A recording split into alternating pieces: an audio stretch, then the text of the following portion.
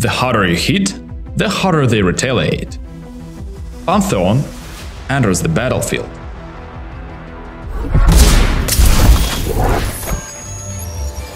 Absorber is an indestructible barrier that lasts for a few seconds. The more damage you take in with Absorber, the more you deal with robot's built-in weapons. Absorber lets you turn tables in the direst situations when used skillfully.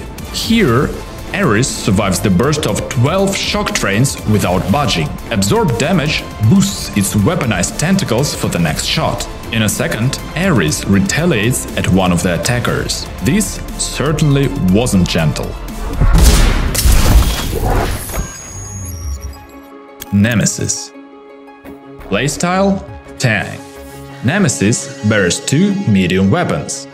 Additionally, it has rocket launchers that temporarily unfold after Absorber is down.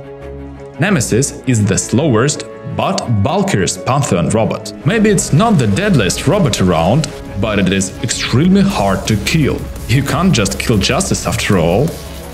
Hades Playstyle Versatile Brawler Hades has two light and one heavy equipment slots. This robot's mountain weapon deals kinetic damage. With its good balance between survivability and firepower, you better not call Hades Mr. Average. Not as flashy as the next robot, Hades can do well even when something goes terribly wrong. Ares Playstyle Fighter Ares has two light and two medium slots. Its majestic tentacle guns deal severe energy damage.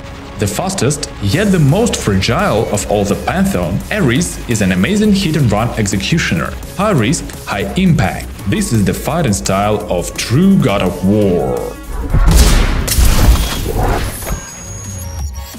Pantheon units appear godlike, yet they aren't invincible. Unless the Absorber is active, Ares and Hades have zero defense.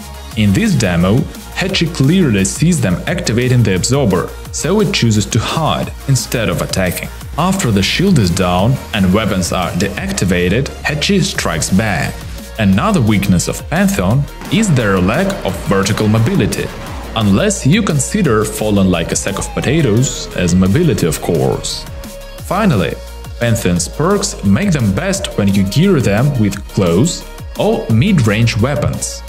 You'll rarely see them running long-range weapons, so try shooting them from afar.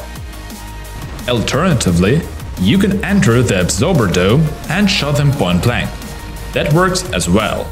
This is how you play on and against the Pantheon. Check the links below for more information on new robots.